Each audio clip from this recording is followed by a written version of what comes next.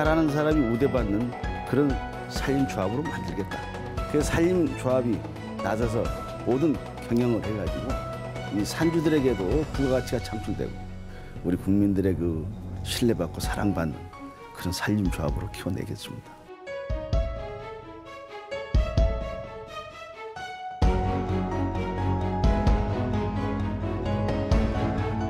사람을 만나다. 산림조합중앙회 이석형 회장을 지금 만나봅니다.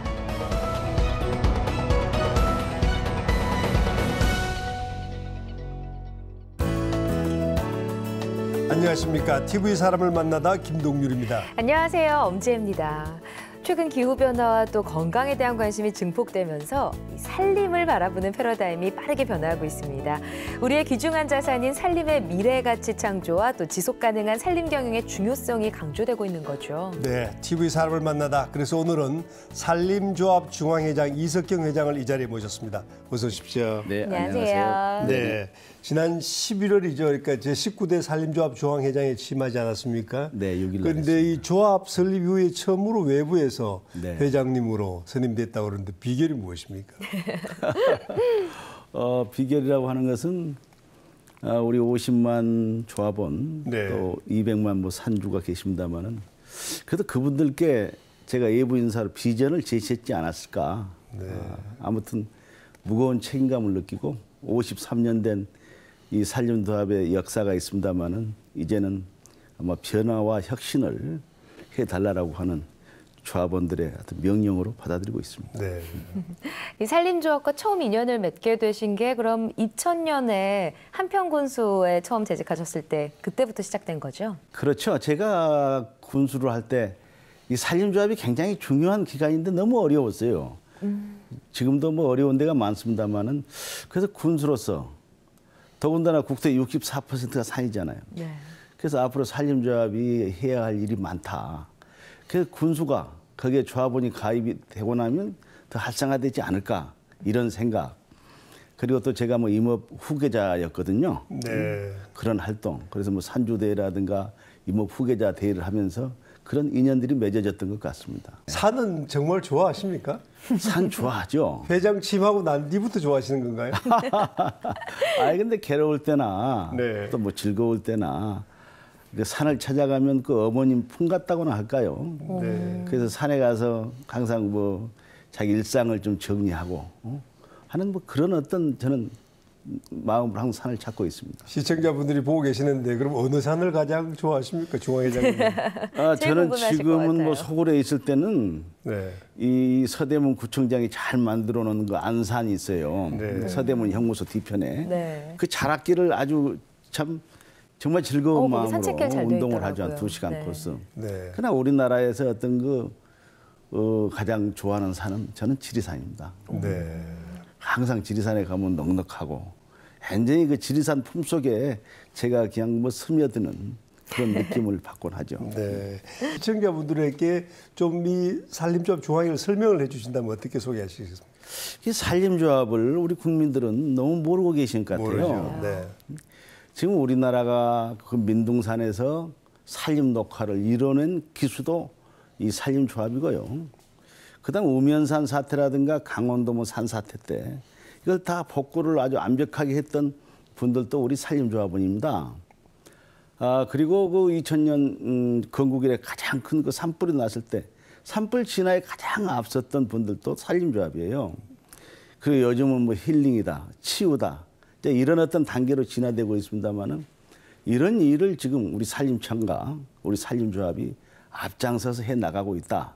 농업인을 위한 농협, 수산인을 위한 수협, 살, 그 임업인들과 어떤 그 산림 가족들을 위한 산림조합 이렇게 알아주시면 아마 쉬울 것 같습니다. 그럼 산림청과 역할은 어떻게 다른 거예요? 아마 산림청은 저희들과 항상 함께 협업이라고 해도 되고 또 산림청이 그동안 우리나라에 이만큼 산림 녹화를 이뤄낸데 그런 정책을 기획하고 어?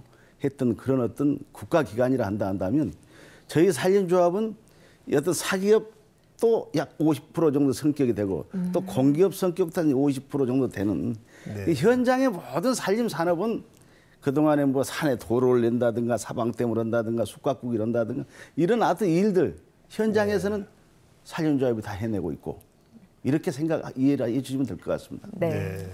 보통 교과서에 보면요, 항상 이 부분을 배웠었거든요. 국토의 70%가 이제 산으로 이루어진 예, 나라 예. 이런 이야기들 많이 했었는데 사실은 우리나라 그렇게 녹화를 잘하고 있는지는 몰랐었어요. 근데 오, 2005년 유엔 식량기구에서 단 40년 만에 국토를 녹화시킨 녹화시킨 치산 녹화 성공국이 우리나라라고. 하더라고요. 예, 예. 이거에 대해 설명을 좀 해주시죠. 잘 모르시는 분들 많으실 것 같아요. 해방 이후에 우리의 살림은 거의 민둥산이었잖아요. 전쟁도 겪고 예, 하니까. 그렇습니다. 네. 지금 북한의 민둥산이라고 하는데 우리는 아마 더 심각했다고 생각을 해요. 어, 그렇지만 그 우리나라의 어떤 그 국민성이라든가 또 그 당시에 어떤 그 이런 의지 아마 이런 안목들이 이 조화가 이루어져 가지고 그것도 우리가 이만큼 40년의 빠른 시간 안에 살림 녹화를 이뤄냈지 않냐 이렇게 생각을 합니다. 근데 사람들의 인식도 옛날에는 산에 가서 뭐 땔감을 이제 가져온다든지 아니면 무슨 저 산채를 이렇게 채취한다 이런데 지금 인식이 바뀌고 있지 않습니까? 좀 정신적으로 치료를 한다든지 아까 이제 회장님께서 힐링 말씀하셨는데 국민들의 어떤 산에 대한 인식 변화를 느낄 수가 있습니까? 물론 지금 산에서도 우리가 뭐 목재라든가 또 뭐 나물, 뭐 임산물 이런 채취도 하는 뭐 그런 기능도 하죠. 어 그렇지만 아마 21세기가 접어들면서 우리 힐링이다, 뭐 치유다. 네. 지금 오히려 그 산의 어떤 그 살림 차원의 문화와 연결되고 또 어떤 그 테라피 기능이라고 하는 그런 치유 기능으로 어 이렇게 지금 바뀌고 있지 않냐 생각을 합니다. 국민들은 한평 군수 2, 3, 4기 민선 군수로 더 유명하지 않습니까? 그렇죠. 그래서 일반적으로는 굉장히 좀 척박한 땅에서 기적을 이루었다. 그런 세간의 평가를 받고 계시는데 본인은 정작 어떻습니까? 저야 뭐 기획 연출을 했고요. 우리 한평 군민 그리고 정말 저와 함께 땀 흘렸던 우리 그 동료 공직자들 저는 그분들의 역할이 컸다고 생각합니다. 사실 한평하면 이제 전 국민은 다들 나비 축제로 기억을 합니다. 그 나비 축제를 기획하신 장본인이시기도 하고요. 예, 예, 예. 어떻게 한평 나비 축제를 생각을 하셨는지 궁금한데 그 얘기 좀 해주시죠. 저희 한평이 좀 척박한 땅인 것 같아요. 네. 사계절 물이 흐르는 계곡 하나 없어요. 네. 국가 보물 한 점 없었고요. 심지어 우리 전라도 쪽에는 기왕 오신 분들도 많은데 기왕 오신 분들도 한 분이 한 분도 안 계세요. 이야기거리가 예, 없었네요. 뭐 그분들이 계셨다면 인문 마- 마케팅을 했을 네. 건데 그래서 참 국리를 많이 했죠. 그 당시 98년 연말 관광객 통계가 19만 8천이 다녀가셨더라고요. 음. 또 이렇다 뭐 특산품 하나도 없고. 그래서 21세기 문화, 관광, 이 환경의 세 키워드를 관통시킬 수 있는 게 뭐냐.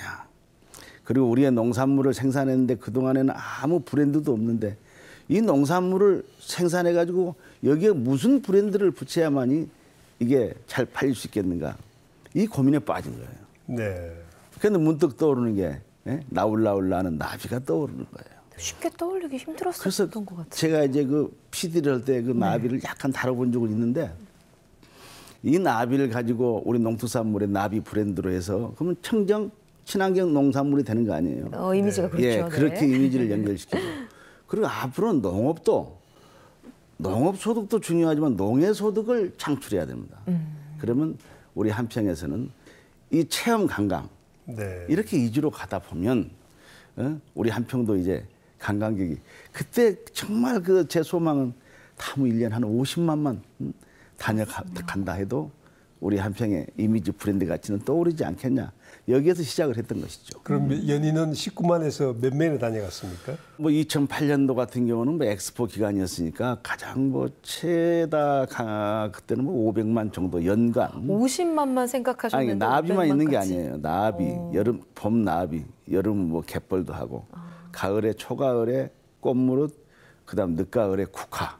대한민국 국향대전도 세계 최고입니다. 네. 이런 상품들을 전부 만들어내서 이게 관광객은 그냥, 그냥 한꺼번에 많이 오셨다 가시는 것보다 이슬비에 옷 젖는 식으로 연중 응? 이렇게 방문해 주시는 게 지역 경제 이바지가 되거든요. 국민의 소득이 이렇게 높았, 높아졌습니까, 많이 그럼? 제가 봤을 때 무형의 자산은 높아졌어요. 네. 예를 든다 그러면 그 우리의 브랜드. 옛날 한평 하면 어디 지리산 옆에 함양이냐, 몰랐죠. 응? 함양이냐 이렇게 네네. 물어보는 분도 계셨는데 요즘은 응? 뭐 소굴에 나는 나비도 다 우리 학생들한테 초등학생들은 야 이거 한평 나비다 그래. 그만큼 브랜드 같이 그러면서 우리가 예를 들어서 농특산물 한 평의 쌀을 판매하더라도 서울 뭐 초등학교 같은 경우 급식 쌀로 우리 한 평 쌀이 가장 많이 나비 쌀이 많이 들어가잖아요. 아, 그렇군요. 이런 효과를 읽어낸 거고 이제 그 2단계, 3단계 예, 앞으로 더 진화되고 발전되리라고 믿고 있습니다. 네. 나비 축제 때 나비도 많이 잡으러 다니셨을 것 같아요. 그 수많은 나비들을 어떻게 다 공급하신 거예요? 아 정말 그 98년 7월 1일 날 취임해서 10월 달에 나비 축제를 한다고 선언했어요. 그래서 뭐 나비 박사도 아웃소싱을 하고 했는데 네. 그분이 나비를 뭐 앙호색 나비다 호랑 나비다 이런 알도 뭐 어, 그 번데기를 채집했는데 몇 개나 했겠어요. 그러니까요. 그래서 이제 2000 음, 아니 99년 새해가 다가오는데 잠이 오겠어요? 이게 대국민 사기극 아닙니까? 그렇죠. 나비 축제 한다는데 나비가 없다고. 가정했을 때. 그 제가 볼 때는 모든 일이 미치고 미치고 몰입하면 보이는 것 같아요. 네. 자나깨나 이뭐 나비 축제를 어떻게 성공시켜야 되냐. 미치다 보니까 딱 떠오르는 게 야 제주도에 가면 응?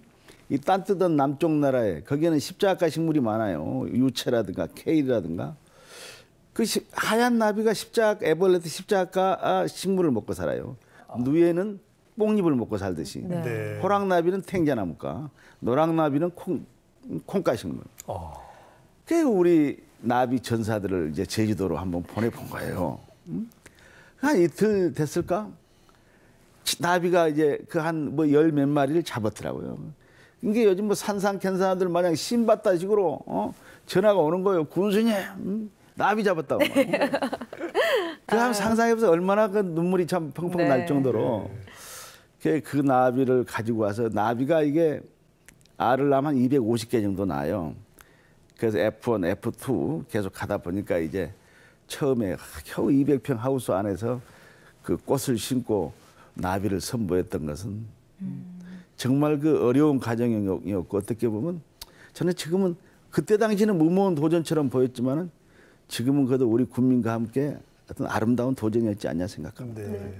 잠시 얘기를 하셨었잖아요. 나비랑 관련된 일을 이제 뭐 PD 시절에 잠시 다큐멘터리 제작을 하셨다고 하는데 그때도 그렇게 번뜩이는 아이디어 많으셨어요? PD 할 때요. 네. 어, PD 할 때 저도 아주 아이디어맨이었어요. 그 뱀장어 다큐멘터리 신비의 뱀장어라고 해서 한 2년 동안 뱀장어를? 따라다니면서 뱀장어의 신비를 많이 벗겼어요. 뭐 그런 일이라든가 또 아주 그뭐 레슬링 선수들 그 올림픽 꿈나무들 다큐멘터리 하는데 제가 훈련 기법을 현장에서 많이 만들었어요. 이 갯벌에 가서 그 낙지도 잡게 하고 갯벌에서 어? 레슬링도 시켜보고 하는 뭐 이런 제가 봤을 때 좀 그런 끼는 있는 것 같아요.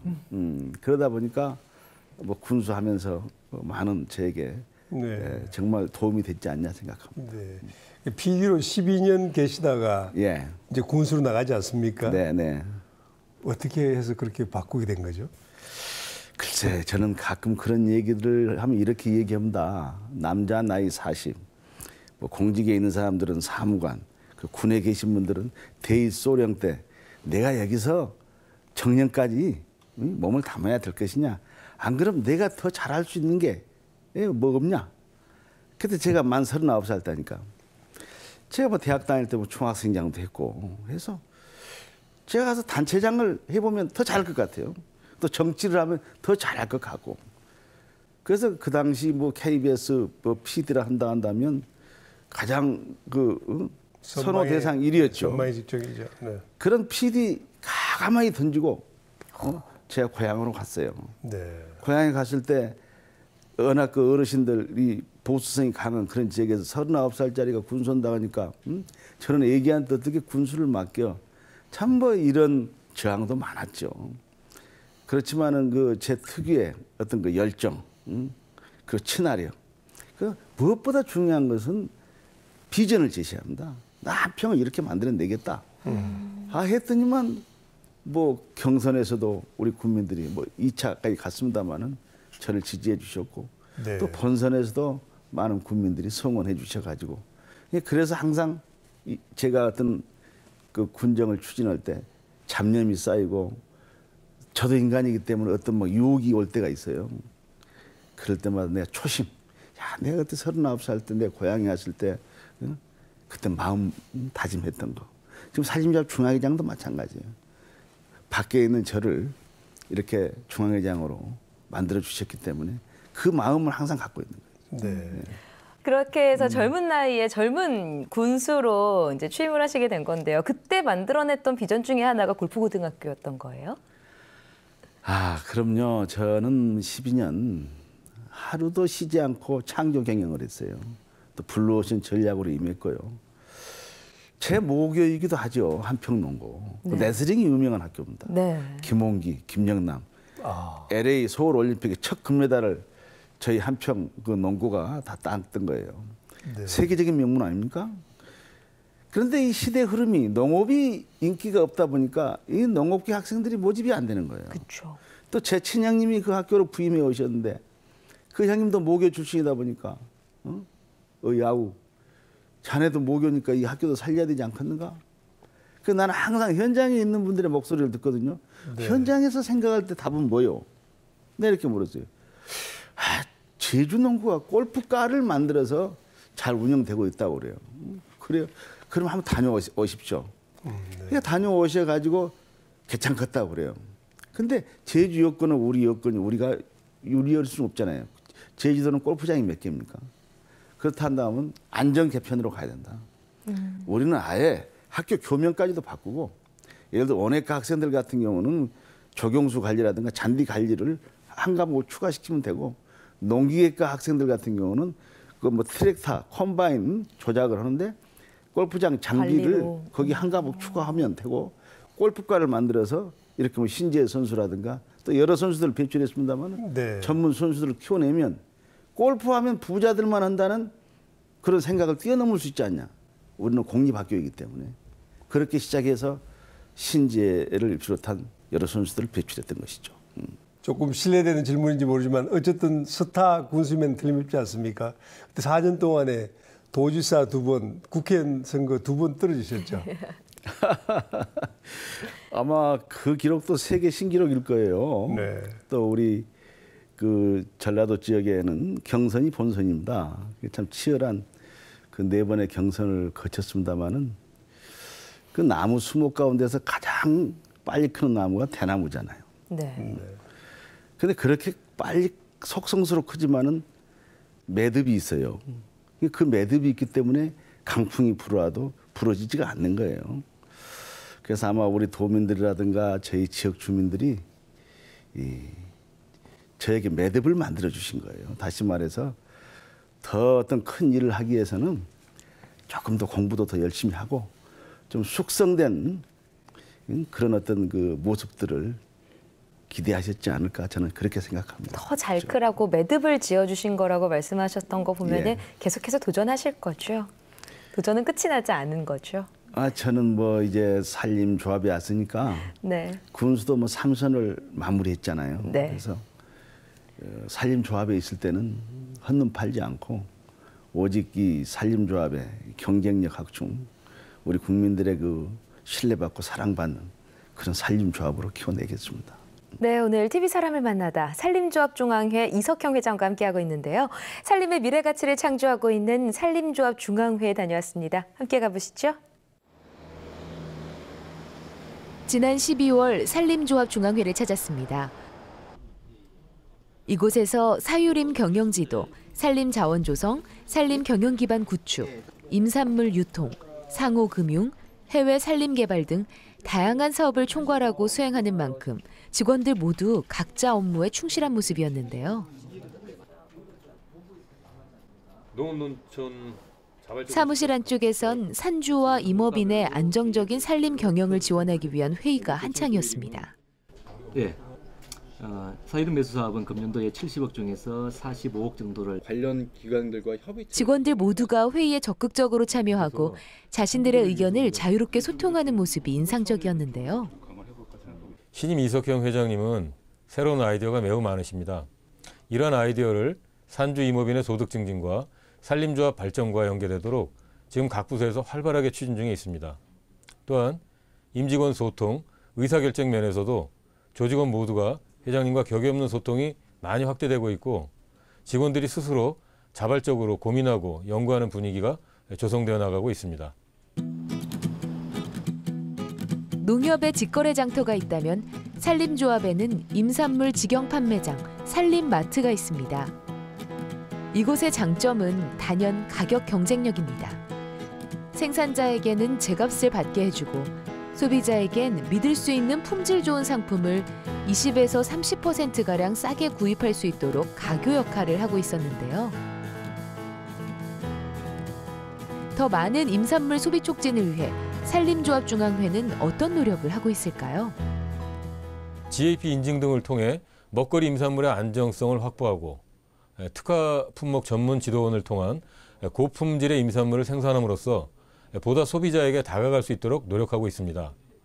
에, 아울러 에, 임산물 소비 촉진 행사의 일환으로 초등학생을 대상으로 깜밤, 홍시를 급식에 제공하는 등 에, 지속적으로 에, 소비 촉진을 확대해 나갈 예정입니다. 다음으로 향한 곳은 산림조합중앙회가 조성 운영하고 있는 하늘숲 추모원. 산림조합중앙회는 친환경 장묘 문화를 장려하고 산지의 효율적인 이용을 위해 경기도 양평군의 국내 최초의 수목장림인 하늘숲 추모원의 문을 열었는데요. 이를 통해 자연 훼손을 최소화하는 새로운 장묘 문화를 정착시켜 나가고 있습니다. 묘지로 인한 극도 훼손과 납골묘의 이제 폐단을 해결할 수 있는 대안으로 이제 이슈가 되기 시작했습니다. 2006년 2월에는 수목장님 조성 및 운영 관리에 관한 기본 계획을 수립하고 2009년 5월 20일 이곳 국내 첫 처음이면서 국내 유일한 국유 수목장님인 한우숲 추모원을 개원하게 되었습니다. 영국이나 프랑스 등의 유럽 국가에서는 수목장이 자연장 또는 녹색장이란 이름으로 널리 행해지고 있는데요. 2009년 조성된 국내 첫 국유 수목장림인 하늘숲 추모원의 추모목 분양률은 90%에 달하고 있습니다. 전통적인 봉분 형태의 묘지는 산에 나무를 베고 조성되기 때문에 산림이 상당 부분 훼손되지만 수목장은 나무를 베지 않아 자연 훼손을 최소화할 수 있는데요. 이렇게 훼손되지 않는 산림을 후손들에게 물려줄 수 있다는 점에서 의미가 있다고 할 수 있습니다. 가장 최근 통계를 보면 전국 평균 76.9%의 화장률을 보이고 있습니다. 그리고 이제 화장 이후에 가장 선호하는 장례 방법으로 수목장은 2005년도 당시는 19%밖에 불과했지만 가장 최근 통계 2013년 연구 통계를 보면 44.2%로 가장 선호하는 장례 방법으로 지금 자리를 잡았습니다. 화장된 분고를 지정된 나무의 뿌리 주위에 묻어주는 것으로 그 나무와 함께 상생한다는 의미가 담긴 수목장. 자연으로 돌아간다는 자연 회귀 섭리에 근거하고 있는데요. 살림의 새로운 가치로서 수목장님이 단순히 추모를 하는 장소가 아닌 가족들이 쉬어갈 수 있는 쉼터가 되길 바랍니다.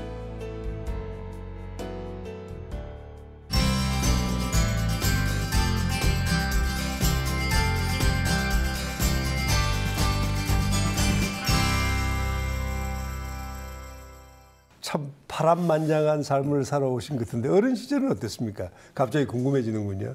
저는 골목대장 그리고 아주 개구쟁이 네. 그 이런 어떤 그 모습들이었던 것 같고요.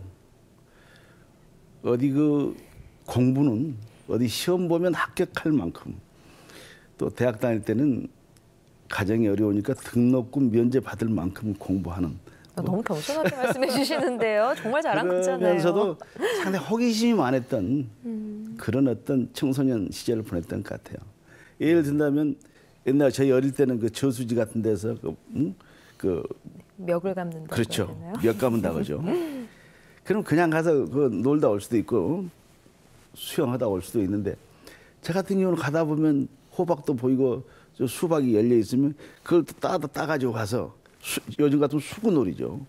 뭐 이렇게 하다가 아니 그럼 주인한테 혼났죠. 그래서 뭐 네. 음, 변상도 해주고 네. 저희 부모님이 얼마나 고생하셨겠어요.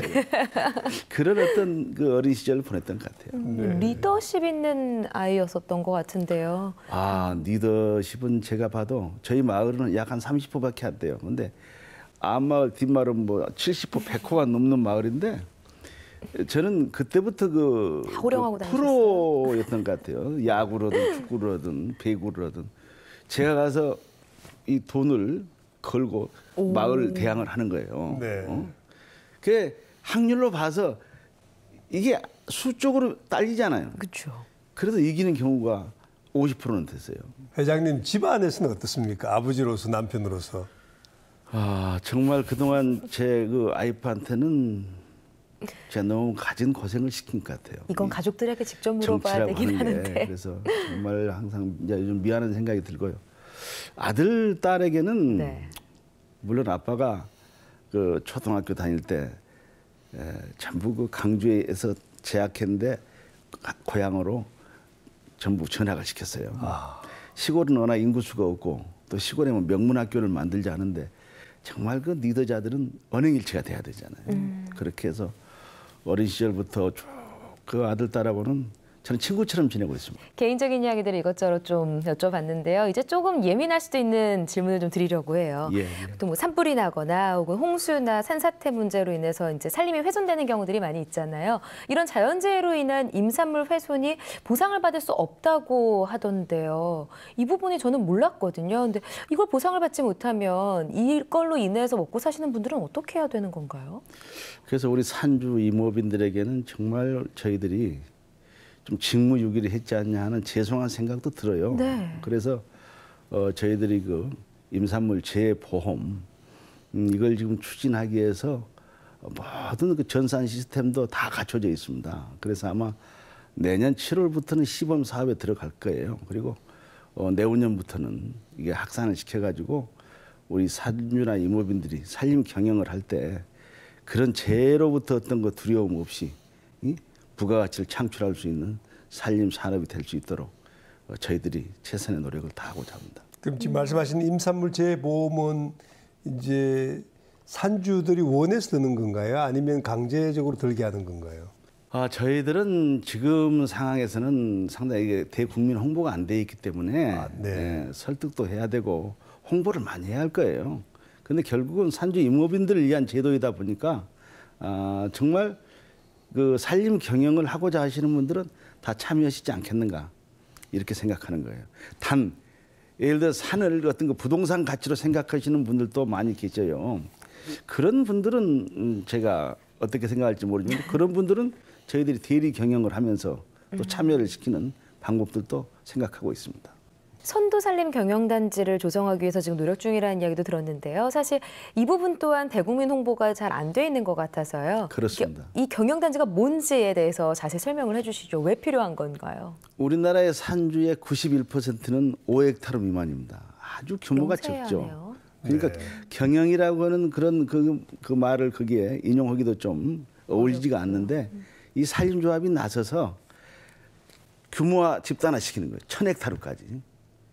그래서 산림조합이 나서서 모든 경영을 해가지고 이 산주들에게도 부가가치가 창출되고 응? 또 우리 이 저- 산림 이 어떤 것 전문 기관인 이 산림조합도 제 역할을 하는 이런 사업들이고 지금 뭐 진안이라든가 보성, 홍천의 세 군데가 이미 시작되었습니다만은 내년에는 한 다섯 군데 계속 확산시켜 나갈 그런 계획입니다. 네. 이렇게 우리 산을 잘 보존하고 가꾸는 것도 중요하지만 그 안에서 나는 것들로 인해서 돈이 되게끔 하는 것도 분명히 중요하거든요. 특히 목재 같은 경우에 경제적 가치를 좀 늘려야 되지 않느냐라는 이야기들이 있는데 이 부분은 어떻게 생각하시나요? 지금 우리나라가 목재 자금률이 겨우 17.4%입니다. 네. 그래서 나머지는 다 수입을. 하잖아요. 네. 그래서 우리가 지금 뭐 소나무 참 요즘은 육성 낙엽송이 각광을 받고 있어요. 음, 그래서 오히려 낙엽송 같은 경우는 상당히 부가가치도 있고 합니다만은 상당히 그 동안에 우리나라의 어떤 그 살림의 어떤 그 수정들을 보면 어, 경제적 가치를 그렇게 염두에 두지는 않았던 것 같아요. 우선 녹화. 네. 아, 물론 전남 장성이라든가 이런 데 가면 편백님 같은 경우는 아주 그 임종국 선생님 같은 분들이 이 정말 그 평생 아주 그 살림 그, 그 지- 뭐랄까 수종 선택도 잘했고 그 아주 육림 사업을 잘해놓은 사례도 있긴 하는데 일반적인 산들은 그래요. 그래서 앞으로는 우리가 아, 상당하니 그 지금 딱 나무 식재한 지 한 50여 년쯤 됐으니까 지금 벌채 수확 시기가 왔거든요. 네. 네. 그 수확을 하고 어, 수정 선택을 잘해야 한다. 아, 그리고 뭐 이 기회에 부탁을 드린다 한다면 아, 우리나라에 지금 한옥이 많이 지어지고 있는데 한옥도 또 수입 목재를 쓰는 경우가 많아요. 네. 그래서 제발 한옥만이라도 우리 국산 목재. 어, 이제 한옥, 한옥은 꼭 소나무만이 아닙니다. 아주 낙엽송 같은 경우도 한옥 재료로 좋거든요. 그래서 이 기회에 좀 부탁을 드리고자 합니다. 회장님 그렇게 이제 말씀을 하시긴 하셨지만 워낙 그 나라 밖에 수입한 목재하고 가격 차가 커서 그게 과연 가능할까요? 아, 제가 봤을 때는 저희들이 지금 임산물이 지금 식재한 지가 50년이 다 돼가지고 완전 지금 벌채, 그 적기가 됐거든요. 그 다음에 이제 그, 거기에 뭐 임산물들 그 목재는 이제 많이 생산이 될 거예요. 그걸 어떻게 그 인건비 같은 걸 최소화시키느냐. 이제 이런 것들인데 지금 우리나라 같은 경우는 뭐 산에 뭐 임도라든가 이런 게 지금 제대로 어? 안 나 있기 때문에 그 인건비가 많이 들고 하거든요. 그래서 네. 그런 부분들을 보완하고 그다음 우리 목재 유통센터 같은 데에서 이제는 예를 들어서 그 목재를 그 조립을 할때그 구멍 하나 하나 이런 것도 전부 옛날에 뭐 수작업이었잖아요. 그 전반 모든 게 자동화가 돼가지고 그게 나오면 이 한옥 이 골조가 딱 마무리되는 이런 시스템으로 간다 한다 한다면 한옥 같은 경우는 얼마든지 낮출 수가 있죠. 뭐 인건비나 유통 경비를 그렇죠. 줄이면 가격 경쟁력이 생길 수 있다. 하여튼 이기에? 말씀드리는 것은 최소한 한옥이라든가 또 관공서에서 어? 하는 우리 뭐 국, 국가라든가 지방의 문화재 예, 이런 어떤 그 건축에 있어서는 우리 국산 목재를 꼭 활용해 주시라는 말씀도 아울러 드립니다. 네. 네. 그런데 산에서 우리가 이제 약재도 채취하고 산나물도 채취하고 그러지 않습니까? 그런데 네, 그렇습니다. 실제로 시장에 나가 본다든지 아니면은 뭐 동대문 양영실 가든지 가보면 대부분 중국산이 더 많지 않습니까? 그렇습니다. 예. 이런 우리나라의 어떤 약재나 산나물 경쟁력은 어떻다고 보십니까? 지금까지 임산물 이런 어떤 그 유통이라든가 가공이라든가 아, 이런 게 너무 체계화가 안 돼 있었던 건 사실인 것 같아요. 네. 그래서 앞으로 그 산지에서 뭐 수집을 하고 뭐 유통, 가공, 또 포장 하나까지도 세심한 어떤 관리 그리고 우수 농산물 뭐 품질 관리라든가 지리적 뭐 표시제라든가 이런 거에 철저히 적용을 하고 물론 중국에 그런 임산물이 많이 수입이 될 걸 예상은 합니다. 중국이 양으로 승부한다면 우리는 질로서 승부해야 됩니다. 네. 그래서 앞으로 우리 국민들의 어떤 그 식탁 그야말로 건강식품으로 자리매김할 수 있도록 최선을 다하겠습니다. 일로서 평가 받겠다 늘상 말씀을 하시지 않았습니까? 어떻게 어떤 사업으로 평가를 받으시고 싶습니까? 어, 저희 산림조합이 53년 역사, 아, 우리 모든 조합원들은 지금 변화와 혁신을 요구하고 있거든요. 네. 어, 거기에 부응하기 위해서는 일로서 어, 저희들이 승부를 낼 수밖에 없습니다. 제가 이런 얘기를 했어요. 이제 무슨 어디 지연, 혈연 다 떨쳐버려라. 응? 일 잘하는 사람이 우대받는 그런 산림조합으로 만들겠다. 그러면서 또 지금 새로운 어떤 그 산림 이 조합, 산림 산업이 육차 산업으로 지금 진화되고 있잖아요. 이런 어떤 니들을 정확히 읽어낸다 한다면 우리 국민들로부터 신뢰받고 사랑받는 저는 산림 조합으로 자리매김하리라고 확신합니다.